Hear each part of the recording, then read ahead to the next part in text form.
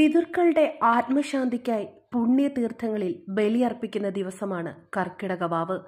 കർക്കിടകവാവ് ദിവസം ചെയ്യുന്ന ശ്രാദ്ധമൂട്ടൽ പിതൃക്കൾക്ക് ഒരു വർഷത്തേക്ക് നിത്യേന അനുഭവപ്പെടുമെന്നാണ് വിശ്വാസം.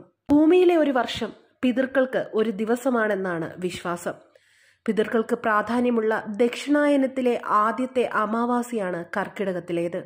അതുകൊണ്ടാണ് കർക്കിടക വാവുബലി പ്രാധാന്യമുള്ളതായി കരുതുന്നത്. പ്രധാനമായും മഹാവിഷ്ണു മഹാദേവൻ എന്നിവർ മുഖ്യ പ്രതിഷ്ഠയായി വരുന്ന ക്ഷേത്രങ്ങളിലാണ് ഈ ചടങ്ങ് കാണപ്പെടുന്നത്.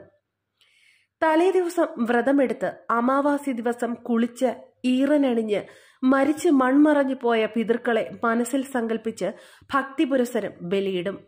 എള്ളും പൂവും ചോറും അല്ലെങ്കിൽ ഉണക്കലരിയും ഉൾപ്പെടെയുള്ള പൂജാദ്രവ്യങ്ങൾ കൊണ്ടാണ് ബലിതർപ്പണം നടത്തുക. അന്ന് കാക്കയ്ക്ക് ഭക്ഷണം കൊടുക്കുന്ന രീതിയും കണ്ടുവരുന്നുണ്ട്.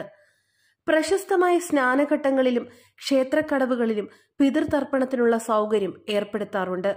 ആലുവ മഹാശിവരാത്രി മണപ്പുറം തിരുവനന്തപുരം തിരുവല്ലം പരശുരാമ ക്ഷേത്രം മലപ്പുറം തിരുനാവായ നാവാമുകുന്ദ ക്ഷേത്രം ദക്ഷിണകാശി എന്നറിയപ്പെടുന്ന പെരുമ്പാവൂർ ചേലമറ്റം ശിവക്ഷേത്രം വയനാട് തിരുനെല്ലി മഹാവിഷ്ണു ക്ഷേത്രം വർക്കല ജനാർദ്ദനസ്വാമി ക്ഷേത്രം ചാവക്കാടിനടുത്ത് പഞ്ചവടി ശ്രീ ശങ്കരനാരായണ മഹാക്ഷേത്രം കൊല്ലം തിരുമുല്ലവാരം മഹാവിഷ്ണു ക്ഷേത്രം തുടങ്ങിയവ കേരളത്തിലെ അതിപ്രധാന ബലിതർപ്പണ കേന്ദ്രങ്ങളാണ്.